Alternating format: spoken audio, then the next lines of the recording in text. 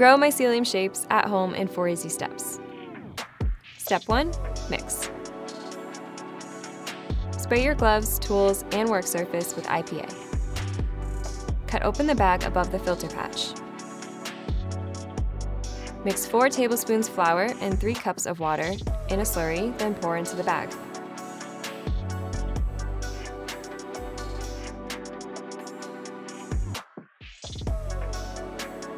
Reseal the top of the bag above the filter patch and hold firmly.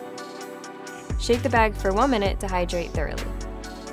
Now grow for three to four days in a clean, warm area out of direct sun. The bag will turn white from the mycelium's growth when ready. Step 2. Grow. Spray your gloves, tools, and work surface with IPA.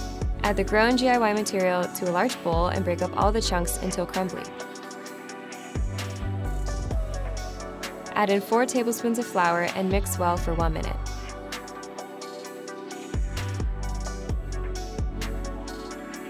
Add the material to your growth form and continue to pack down as you add more layers.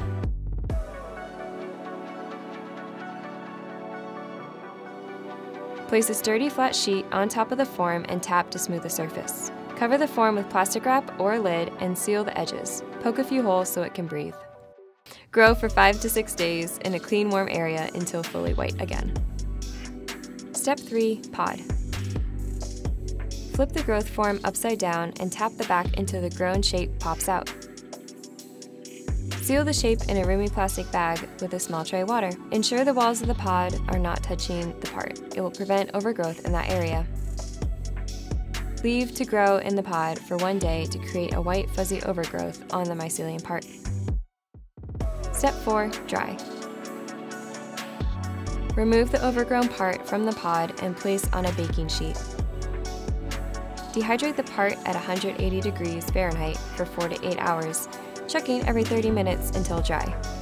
The final part will have shrunk and weigh 35% the original weight. Just like that, you've grown a custom shape with GIY mycelium materials. What will you grow next?